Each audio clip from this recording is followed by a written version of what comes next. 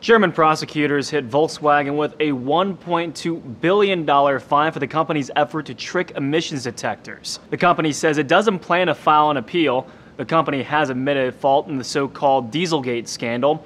The ordeal cost the company more than $30 billion already, not to mention stock value and consumer confidence. Volkswagen's former CEO was charged in relation to the scandal in early May.